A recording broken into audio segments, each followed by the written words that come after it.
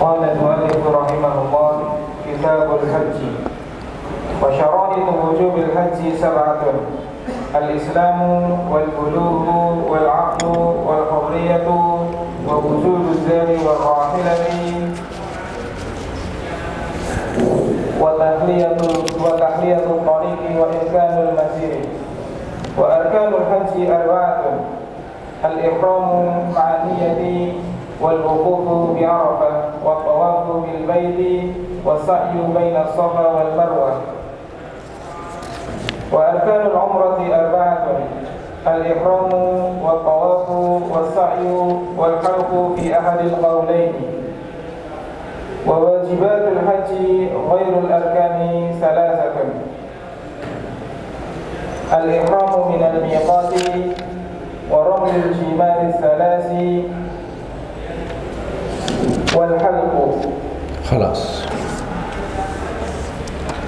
Kitabul Hajj kitab tentang al-hajj yaitu haji. ya al-hajj itu maksudnya adalah al-qasdu wa ziyarah. Secara bahasa al-hajj artinya memaksudkan sesuatu dan ziarah yaitu mengunjungi. Jadi kalau haji itu ya memaksudkan sesuatu ke Mekah. Ziarah yaitu mengunjungi Mekah. Itu secara bahasa etimologi. Hajj artinya al-qasdu wa ziyarah kemudian di dalam istilah al-hajj itu ya ibadah kepada Allah Subhanahu wa taala. Ya dengan amalan-amalan yang khusus. Ya pada hari-hari yang khusus ya amalan ibadah kepada Allah Subhanahu wa taala dengan amalan-amalan yang khusus pada hari-hari yang khusus. Ya itu hari-hari yang khusus. Ya tanggal 8 Zulhijjah tanggal 9 tanggal 10 11 12 13 ya itu amalan-amalan ibadah haji. Dan di tempat yang khusus juga ya tidak bisa sembarangan. Tempat yang khusus yaitu di ya di tanah haram ya kalau tawaf ya di Baitul ya Haram Mekah Ka'bah Kemudian kalau ya e, sa'i ya, antara Safa dan Marwah. Kemudian kalau ya bermalam ya di Mina. Ya, kemudian kalau melempar jumlah ya di Mina. Kemudian kalau wukuf ya di Arafah. Ya, kemudian kalau pada malam hari ya tanggal 10 ya di Masyairul Haram ya dan yang lain. Jadi itu adalah tempat-tempat yang dilaksanakan ibadah haji. Kemudian Rasulullah sallallahu alaihi wasallam beliau bersabda man hajja lillah falam yarfuth walam yafsuq Barang siapa yang haji karena Allah falam yarfuth sedangkan dia tidak berbuat rafath. Rafath itu sesuatu yang menjurus kepada hubungan suami istri. Ini dengan perkataan, dengan perbuatan. Walam yafsuk tidak berbuat fasik. Ya, tidak berbuat fasik itu berkelahi, bertikai, ya satu dengan yang lain, ya kemudian berdebat, ya kemudian ya yang semisal, ya yaitu berselisih satu dengan yang lain. Itu ya yang dimaksud dengan walam yafsuq. Raja'a ay min dhunubihi. Dia akan pulang dari dosa-dosanya. Kayauma waladathu ummuh. Seperti pada hari dia dilahirkan oleh ibunya Subhanallah ya pahala haji itu besar sekali diampuni dosa-dosanya seperti ketika dia lahir ke dunia. Ketika lahir ke dunia tidak membawa dosa. Kayauma waladatu ummu seperti dia dilahirkan oleh ibunya pada hari itu. Tidak membawa dosa, tidak membawa permusuhan, ya tidak mendolimi orang ketika lahir dalam keadaan fitrah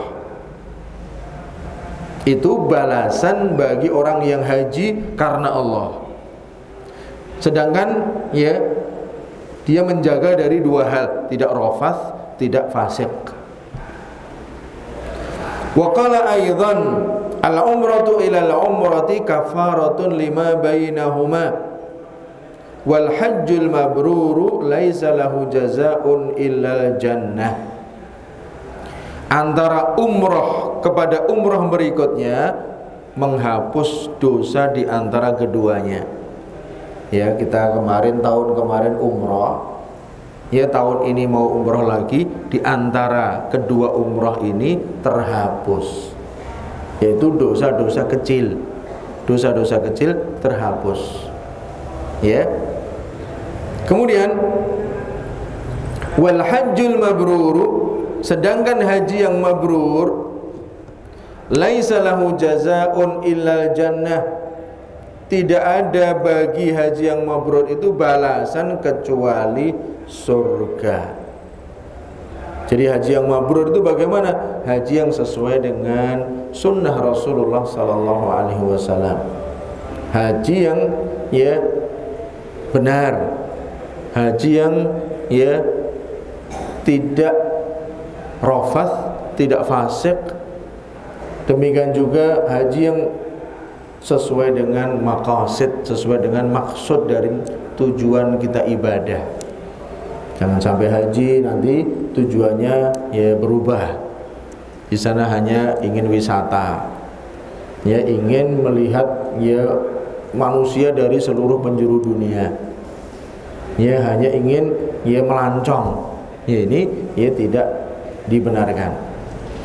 Ibadah haji adalah ibadah yang mulia. Ya diperuntukkan dipersembahkan untuk Allah Subhanahu wa taala. Maka balasan haji yang mabrur tidak lain dan tidak bukan adalah surga. Ya wal hajjul mabrur laisa lahu jazaa'un ilal jannah. Tidak ada balasan yang setimpal. Tidak ada ganjaran yang cocok yang layak baginya kecuali surga.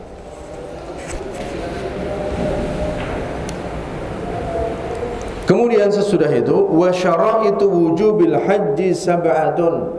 Ya pengarang ini ya di dalam uh, matan Abi Syuja ya Al-Qadhi Abu Syuja selalu memberikan eh, pembagian-pembagian.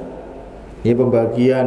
Contohnya syarat-syarat diwajibkan haji ada tujuh. Ya itu syarat-syarat diwajibkan haji ada tujuh. Yang pertama al-Islam. Ya harus beragama Islam. Kalau non muslim tidak disyaratkan ya dan kalau mau haji tidak sah. Harus masuk Islam terlebih dahulu. Ya dan orang yang non muslim ketika dia tidak ya e, ibadah haji ya tidak sholat mereka juga dihukum oleh Allah. Dicatat sebagai perbuatan dosa. Ya karena manusia diwajibkan untuk taat kepada Allah mereka tidak taat. Ya mereka tidak taat tidak haji tidak sholat ya mereka bahkan makan saja ya dicatat sebagai ya dosa ya oleh Allah Subhanahu wa taala. Yang pertama al-Islam. Islam. Yang kedua wal buluk balik. Ya balik ini sebagaimana tadi eh, kemarin sudah kita sebutkan ya apabila sudah e, mimpi basah atau tumbuh bulu kemaluan atau berusia 15 tahun. Ya, itu balik kalau wanita ditambah datang bulan haid. Jadi kalau belum balik ya belum disyaratkan untuk haji. Belum disyaratkan untuk ibadah haji. Bagaimana kalau anak kecil ya masih remaja belum balik kemudian diajak haji oleh orang tuanya. Ya orang tuanya ya boleh mengajak ibadah haji tapi belum disebut sebagai haji yang wajib. Nanti kalau balik anak itu masih harus wa haji. Ya belum menggugurkan kewajiban. Ya belum menggugurkan kewajiban. Harus ya sesudah balik harus haji lagi dulu sudah haji tapi haji ketika kecil. Ya apakah ada banyak? Ya mungkin kita jarang ya. Ya kalau pergi ke sana bawa anak kecil tapi kalau di Saudi atau di negara-negara teluk negara Arab yang dekat dengan Mekah ya membawa anak-anak kecil. Bahkan yang masih bayi dibawa dari Pakistan dari India. Kalau kita kan jarang Indonesia jarang. Indonesia pergi ke Mekah itu tua-tua ya yang muda-muda jarang. Karena mereka nabungnya dari muda. Muda itu nabung kerja ya sudah dapat ya. Usia 60 sudah dapat ya masih antri 20 tahun. Berangkat ke sana 80 tahun. Ya nabung dulu dikit-dikit dikit sudah daftar antri 10 tahun 15 tahun. 65 70 ya. Seperti itu. Haji kita ya termasuk tua-tua kalau negara-negara lain itu masih muda-muda masih ya eh, ada yang baru balik ada yang 20 25 bisa pergi haji. Ya paling kalau Saudi ya ya hajinya dimudahkan. Ya karena tempatnya juga dekat. Ya tempatnya dekat perjalanan darat juga bisa naik bis bisa sampai. Kalau kita naik bis ya nggak akan nyampe. Kita mau ke Mekah naik bis. Atau mobil sendiri nggak bisa. Ya karena beda negara ya dipisahkan dengan laut dipisahkan dengan ya batas-batas yang lain. Kalau dari Yaman bisa naik mobil sendiri bisa. Ya dari Bahrain bawa mobil sendiri bisa. Kemudian dari Yordan bisa. Ya dari eh, Palestina bisa. Kendaraan bis itu banyak ya dari negara-negara ya teluk negara-negara Arab Timur Tengah itu bisa.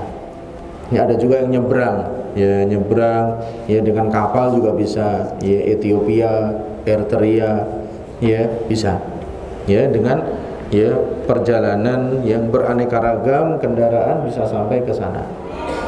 Ya kalau kita dulu ya kapal itu sebelum ada pesawat ya di sana di kapal itu 25 hari. Ya 25 hari. Ya mungkin kakek-kakek kita dulu ya seperti itu zaman dulu kemudian yang keempat wal hurriyah atau yang ketiga al akal berakal. Ya berakal itu lawannya ya tidak berakal. Orang yang gila. Ini orang yang gila, orang yang tidak berakal penuh. Meskipun dia punya harta Tidak diwajibkan untuk haji.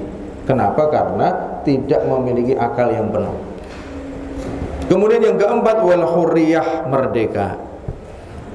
Dia bukan hamba sahaya.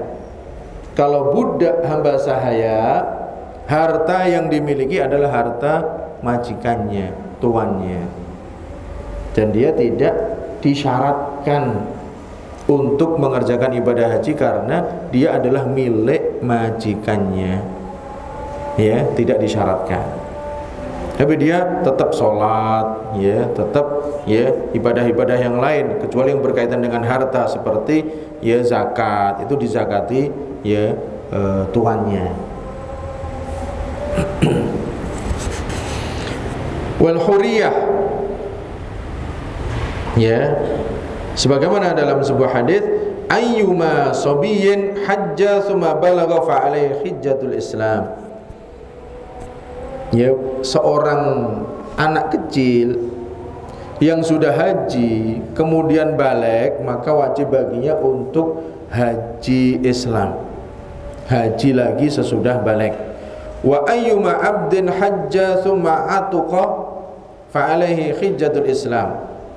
Dan seorang budak dari mana saja kalau dia dulu sudah haji kemudian merdeka maka sesudah merdeka wajib haji lagi ya dulu ketika dia budak dihajikan oleh tuannya kita bicara seperti itu ya e, mungkin kondisi ya sekarang sekarang nggak ada budak ya barangkali yang akan datang ya bisa jadi Kan di antara tanda-tanda hari kiamat ya antalidal amatu rabbataha. apabila seorang budak perempuan melahirkan majikannya, tuannya. Ya. Ibunya budak kemudian sama tuannya digauli tuannya kemudian melahirkan. Yang lahir itu adalah ya statusnya merdeka. Statusnya merdeka ya seakan-akan itu ya banyak sekali perbudakan, banyak sekali kemenangan kaum muslimin kemenangan kaum muslimin, pembukaan di beberapa kota, beberapa daerah menunjukkan ya dekatnya hari kiamat. Kemudian sesudah itu yang kelima wa wujudu zadi warahilah. Keberadaan bekal dan kendaraan. Ini yang dinamakan istita'ah sebagaimana firman Allah taala di dalam surat Ali Imran ayat 97 walillahi 'alan nas hijjul baiti man istata'a ilaihi sabila dan bagi Allah atas manusia ya bagi Allah atas manusia bagi Allah mewajibkan manusia untuk pergi haji ke rumahnya yaitu di Ka'bah. Man istata'a ilaihi sabila tidak seluruh manusia. Walillah ala nas walillahi ala nas itu termasuk di dalam usul bahasa Arab sesuatu yang ya paling kuat di dalam mewajibkan bagi Allah. Allah punya hak untuk mewajibkan manusia pergi haji ke rumahnya di Ka'bah. Tapi bukan semua manusia. Manis tata'a ilaihi sabila. Ya di antara manusia itu yang memiliki kriteria manis tata'a orang yang mampu untuk berjalan menuju ke sana sabila ya dengan bekal perjalanan. Dia mampu berjalan ke sana. Kalau tidak mampu ya tidak diwajibkan. Karena ini sesuai dengan kemampuan. Ya haji itu sesuai dengan kemampuan. Kalau tidak ada kemampuan ya tidak wajib. Ya, kalau seandainya di dalam ayat itu tidak disebutkan walillahi ala nas hijjul bait. Ya, bagi Allah mewajibkan seluruh manusia untuk pergi ibadah haji. Berat.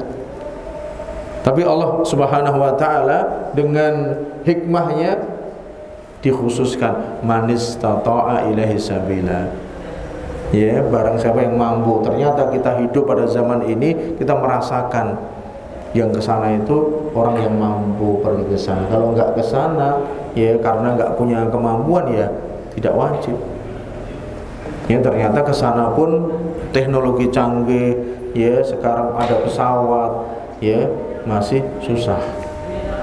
Mungkin banyak orang yang saya mampu bayar berapa aja mampu, tapi sana tempatnya nggak muat. Ya mau di mana? Ya di sana dibatasi kuotanya dibatasi. Pemerintah Saudi sudah melebarkan semuanya masjid sudah diperluas. Ya kemudian tempat-tempat masyairul haram sudah diperluas. Tapi ada kuotanya. Sekarang semuanya banyak yang mampu umat Islam di seluruh dunia mampu. Mau ke sana ya nanti bisa ya berdesak-desakan kemudian terjadi musibah ada yang meninggal dunia.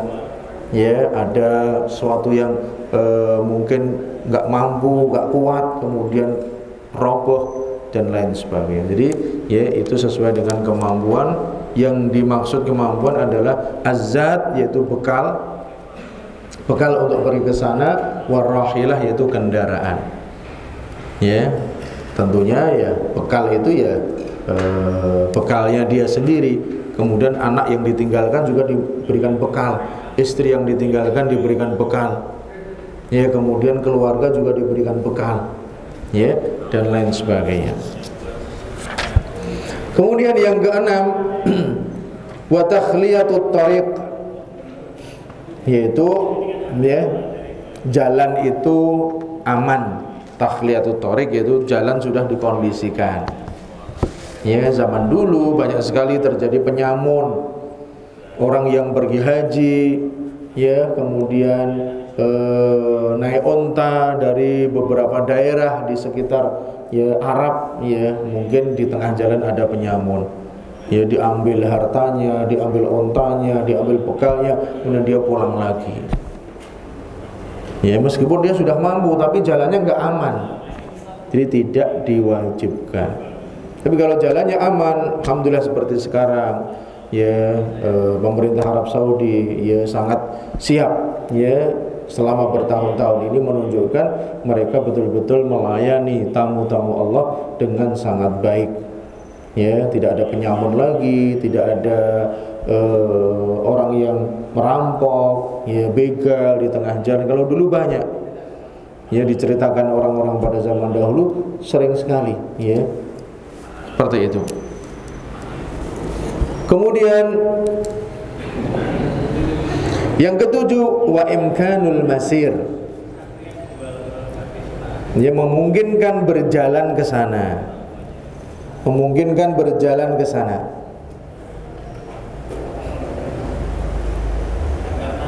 Jadi waktunya itu ya memungkinkan. Seperti sekarang ya adanya eh, antrian ini juga harus ya seperti ini. Memungkinkan. Kita punya kemampuan sekarang bisa bayar tapi harus antri. Nah ini kan kita sudah mampu. Apakah kita berdosa? Kita sudah mampu kok nggak boleh berangkat? Ya ini syarat yang lain belum terpenuhi ya yaitu kemungkinan berangkat ke sana. Punya uang tapi nggak memungkinkan berangkat ke sana. Kalau berangkat ke sana nggak ada kuota. Ya nanti disuruh pulang lagi. Jadi yang seperti itu ya harus terpenuhi syarat-syarat kewajibannya. Yang pertama tadi Islam, kemudian balik, kemudian berakal, kemudian yang keempat merdeka, yang kelima adanya bekal dan kendaraan, kemudian yang keenam jalannya aman, yang ketujuh mungkin untuk berjalan ke sana. Jadi kalau nggak mungkin ya ditunggu dulu. Ya kamu antrinya ya 20 tahun ya harus mengikuti pemerintah karena yang berhak untuk memberangkatkan ibadah haji dan mengatur ibadah haji adalah pemerintah. Tidak bisa sendiri-sendiri, kita mau sendiri-sendiri. Ya backpacker ke sana. Semua orang backpacker ke sana, ya nanti bingung di sana tendanya di mana.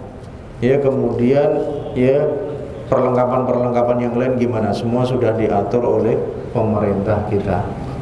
Ya pemerintah kita bekerja sama dengan pemerintah Arab Saudi ya bagaimana ya bisa ya melindungi jamaah haji yang jumlahnya ya ya ribuan. Ya kita kalau eh, setiap tahun 200 ribu minimal ya kalau ditambah kuotanya kadang 210 220 sesuai dengan ya jatah ya negara-negara lain-lain juga diberi jatah tidak bisa Indonesia nanti berangkat sendiri-sendiri semuanya. Ya, jadi di sana nggak ada yang yang mengatur. Jadi haji harus diatur oleh pemerintah. Jadi sampai di sini ayo lekhwa, ya kita cukupkan sampai di sini tentang syarat-syarat wajibnya haji. dan mudah-mudahan Allah Subhanahu wa taala memberikan kepada kita ilmu yang bermanfaat dan amal yang saleh. Kita cukupkan. Wasallallahu wasallam ala nabiyina Muhammad wa ala alihi washabbihi ajmain. Wa akhiru da'wana alhamdulillahi rabbil alamin. Wassalamu alaikum warahmatullahi wabarakatuh.